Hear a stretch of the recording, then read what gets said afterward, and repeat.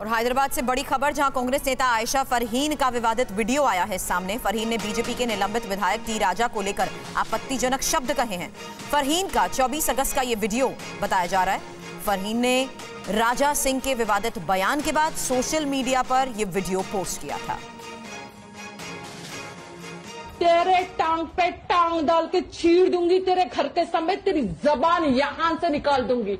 अगर part two निकालने का सोचना नहीं, जो अब निकाल के बहुत बड़ी गलती कर दिया, हमारा दिमाग हाँ खराब कर दिया, तू दिखेगा तो तेरा ऐसा हर्ष करूँगी कि तू खुद, तेरे घर वाले खुद नहीं पहचानेंगे रहमतुल्लाहि बरकातहू आयशा फरीम आज हैदराबाद में रात से जो माहौल खराब है, एक राजा सिंह शाह ने हमारे हुजूर के शान में गलत बात की, गलत सलत बात करी।